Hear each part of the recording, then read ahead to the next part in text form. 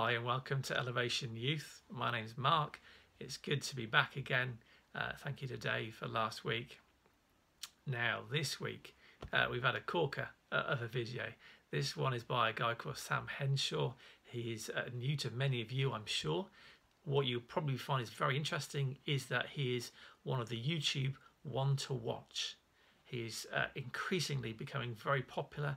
Uh, he's got a very unusual uh, sort of gospel twist soul mix of music that is very, very catchy. And also, you've probably seen through the video as well, he's got a sort of a cheekiness in the videos, which I know a lot of people like, I like as well. Uh, it brings a smile to your face. So if you haven't already watched it twice or three times, check it out again and watch it shortly. But let's just uh, let me just finish first, uh, and I'll just hopefully draw a little bit more as to look at. So Samm Henshaw, yeah, he comes from the south of London, and uh, he goes to his local church there. He's a Christian himself, and in a lot of his videos, he talks about his faith, which is really, really good to know. For the observers among you, uh, there was a part in the video where he put a Bible reference up. Now, can you remember when that was or where that was? Little question for you. I'll give the answer. So, the passage that he referred to that was on, there was a, a board at the back of the church that is zoomed in at the end of the, the video, was from Matthew's Gospel, chapter 18, verse 20. And I'll just read this for us. So, this is Matthew 18, verse 20, and these are the words of Jesus. For where two or three come together in my name, there am I with them. And that's encouraging that wherever we are, when we meet together again through the internet and through the YouTube uh, as part of the group, uh, Jesus is with us, and that's encouraging. Now, there's a there's a passage in the, the Bible I know that we we looked at before some point last year from John chapter three verse sixteen, and if people were to ask me, um, what difference does it make about being a Christian? Because some people ask that question. At this time, a lot of people are asking the, the big questions of life. What is life about? Is there a God? Is there this uh, God shaped hole in people that people are searching to fill but looking at the wrong direction? Well, for me, John chapter 3, verse 16 speaks wonderfully and clearly of what that is for me. I know I'm known by God, I'm loved by God, and I've been made by God. And that it's through Jesus, his sacrifice, his death on the cross, that I know I'm forgiven, um, forgiven my sins. And that when my time comes, when God calls me home to the heavenly home, that I'll be welcomed into the heavenly home in heaven.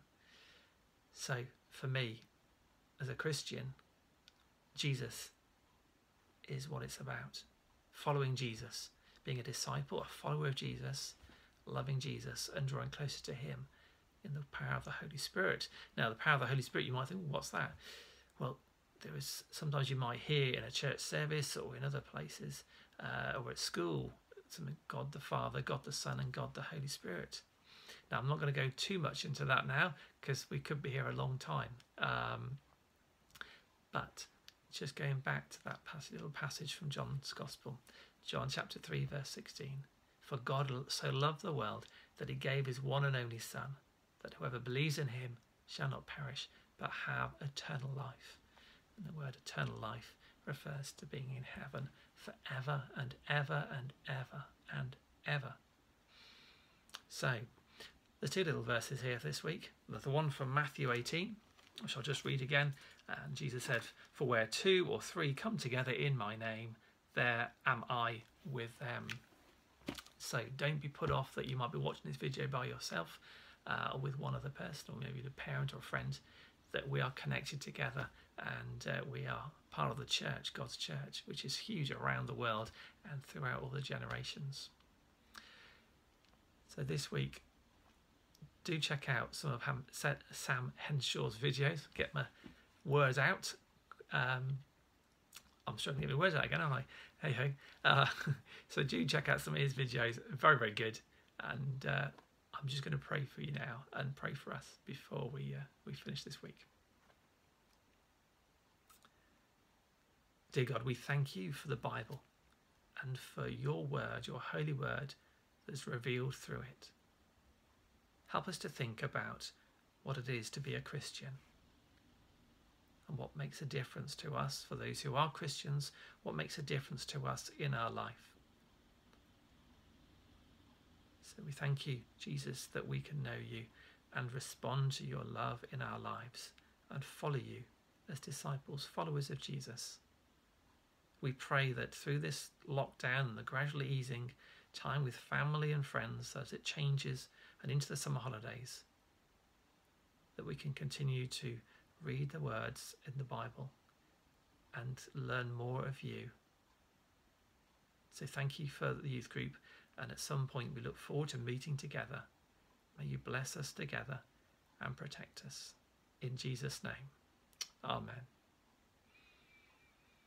There we go. Good to see you. Good to catch up, and uh, catch up again soon. Cheers. Bye bye.